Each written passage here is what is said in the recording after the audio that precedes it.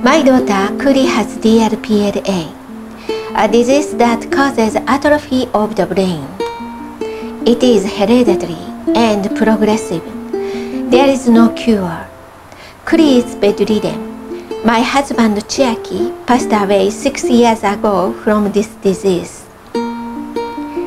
I wrote Ohana family in hopes of finding a cure. I pray that I can save my daughter. Chapter 3 Christmas Tree Neither Kuri nor Chiaki slept last night. In the morning, Kuri again had epilepsy. Kuri was worried about the Christmas tree and woke up several times.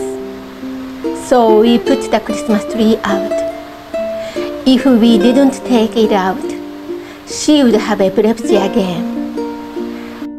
Until last year, Chiaki had taken the tree in and out from the attic, but this year, Ken came and took the tree down. The Christmas tree was decorated by the three of us last year. But this year, we couldn't even take it out without help. The decorations were also different.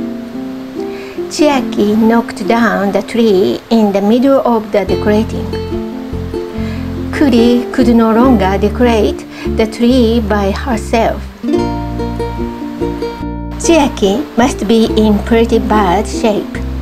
His face looks different and he yells at me over trivial things. My mother is visiting us from Japan now, and she says, You are tired from taking care of Kuri, and Jack yells at you too, so it's hard for me to see you like that. It can't be helped. They both have advanced disease. Even though I try to be positive, it's still hard. In the afternoon, I went to see Dr. Simon at the Jujube Clinic for acupuncture treatment. When I was alone with the doctor, I told him that Chiaki had gone for an IV yesterday and that Kuri had epilepsy two days in a row. And he said gently, It's going to be alright.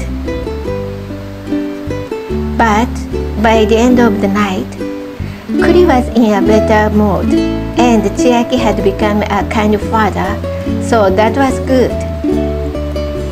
Both Chiaki and Kuri are fighting the disease. Chiaki is trying to be a kind father. If he can't be a kind husband, it's because of his illness. I lived today without regret. Even if we can't decorate the tree the same way we did last year, it will still be a very beautiful Christmas tree. Tomorrow too,